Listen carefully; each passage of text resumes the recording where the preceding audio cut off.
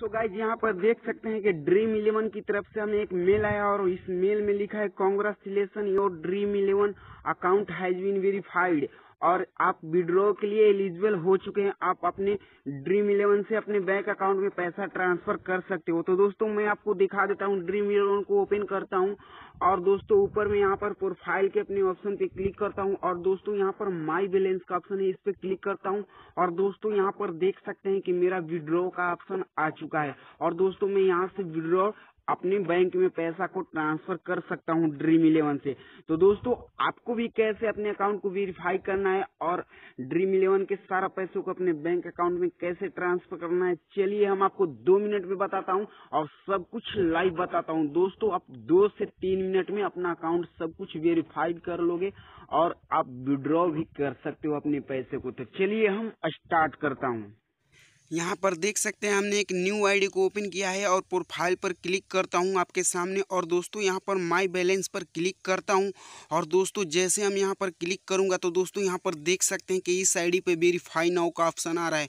और दोस्तों, यहाँ से आप विड्रॉ के लिए एलिजिबल नहीं है। यहाँ पर वेरीफाई जब तक नहीं करोगे, तब तक विड्रॉ के लिए एलिजिबल नहीं हो पाओगे। तो दोस्तों, आपको विड्रॉ, वेरीफाई पर क्लिक कर देना है। जैसे आप वेरीफाई पर क्लिक करोगे तो दोस्तों, यहाँ पर देख सकते हैं सिर्फ़ हमारा mobile number verify disappeared verified है। और दोस्तों, इसके बाद नीचे में आपको अपना एक जीमेल आईडी डाल लेना है। और दोस्तों, उसके बाद आपको सबसे पहले जीमेल आईडी को वेरीफाइड करना है। तो दोस्तों, सबसे पहले चलिए हम अपना जीमेल आईडी यहाँ से डाल के वेरीफाइड कर लेता हूँ। तो दोस्तों, यहाँ से वेरीफाइड पे मैं क्लिक करता हूँ। और दोस्तों, हमारे यहाँ पर देख सकते हैं कि जी पर एक मेल सेंड कर दिया गया है। तो उस उस जी पर चल के मैं उस सेंड को यहाँ पर देख सकते हैं, मेरे जी आ चुका है। और मैं यहाँ पर देख सकते हैं कि आपके सामने मैं वेरीफाई करूँगा इसको। दोस्तों, यहाँ से देख सकते हैं click here to verified now का ऑप्शन आ रहा है। इस पर जब मैं जैसे क्लिक करता हूँ तो दोस्तों, हमारा तुरंत के तुरंत यहाँ पर देख सकते हैं कि वेरीफाइड हो चुका है।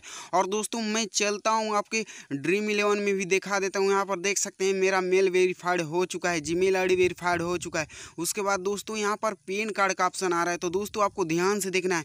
सबसे पहले तो आपको पेन कार्ड का फ्रंट जो फ़ोटो होता है, उसको यहाँ से अपलोड कर लेना है।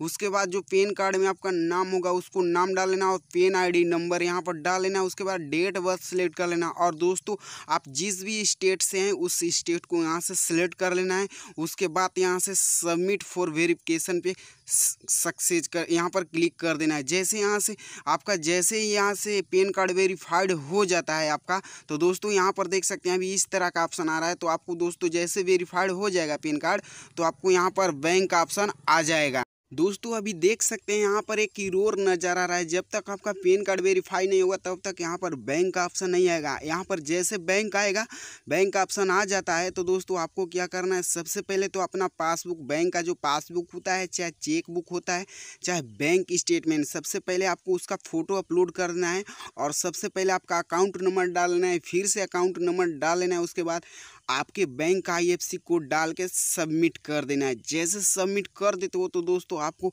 एक से दो घंटे में आपका अकाउंट वेरीफाइड हो जाएगा।